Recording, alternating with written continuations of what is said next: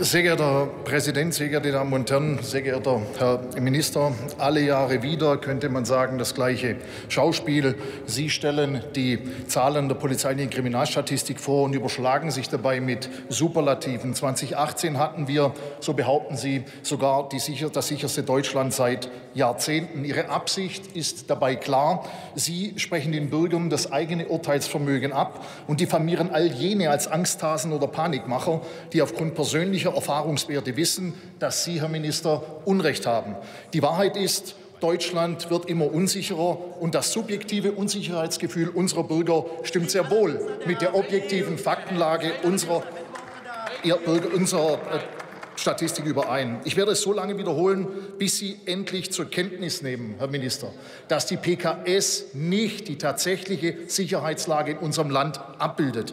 Früher hatten wir keine Betonpoller und keine schwer bewaffneten Polizisten in unseren Innenstädten und Frauenschutzzonen bei öffentlichen Veranstaltungen gab es auch nicht. Allein das zeigt doch jedem jeden Tag ganz offensichtlich, dass wir unsicherer leben als früher. Nehmen Sie das endlich zur Kenntnis und beleidigen Sie nicht fortwährend die Intelligenz unserer Bürger.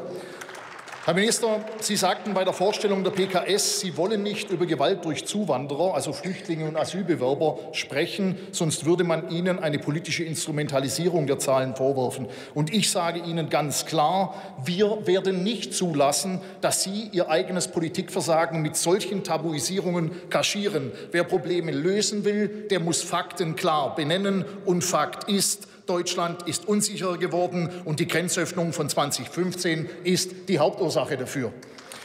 Über eine Million Straftaten durch Zuwanderer, darunter 250.000 Rohheitsdelikte, 16.000 Sexualdelikte und 1.500 Tötungsdelikte wären niemals begangen worden, wenn Sie unsere Grenzen effektiv geschützt hätten. Und wenn wir das Verhältnis von Opfern und Tätern vergleichen, müssen wir feststellen, letztes Jahr fielen 102 Deutsche einem vollendeten Tötungsdelikt durch Zuwanderer zum Opfer, aber nur ein einziger Zuwanderer wurde durch einen Deutschen getötet. Insgesamt wurden 2018 über 46.000 Deutsche zum Opfer einer Straftat durch Zuwanderer.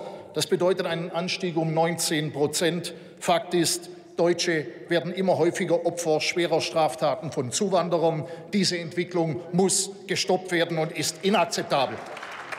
Schauen wir nach Bayern, Herr Minister, wo Ihre CSU regiert. Letztes Jahr waren 20,8 Prozent der Tatverdächtigen im Bereich der Gewaltkriminalität Zuwanderer.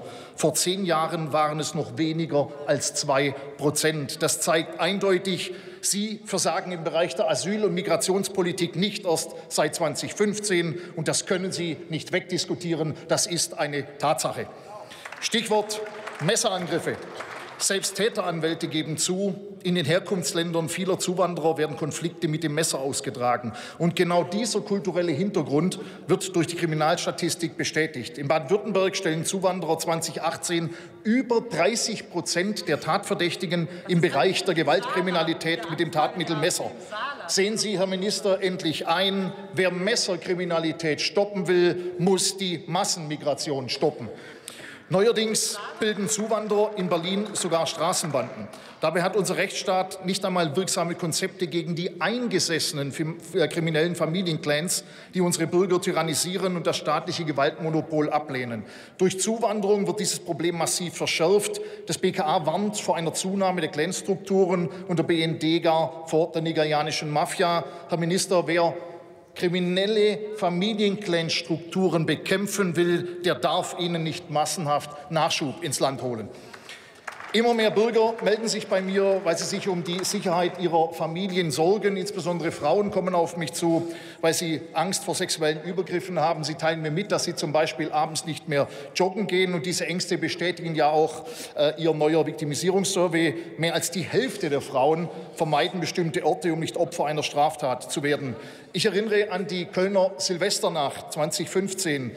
661 Opfer von Sexualstraftaten, 43 Verfahren und drei Verurteilungen. Nur drei Verurteilungen. Diese Bilanz, Herr Minister, ist eines Rechtsstaates unwürdig. Und was machen Sie? Sie fragen sich, wie kann ich den Bürgern ihre Ängste ausreden? Und ich sage Ihnen, sorgen Sie endlich für mehr Sicherheit, dann verschwinden diese Ängste von ganz alleine. Unser Rechtsstaat, und auch das ist Fakt, erodiert immer mehr. Aber die AfD wird sich dem entschlossen entgegenstellen und sie immer wieder mit dieser Realität konfrontieren. Deutschland kann erst wieder sicher werden, wenn die illegale Massenmigration gestoppt wird. Und die AfD ist dazu jederzeit bereit.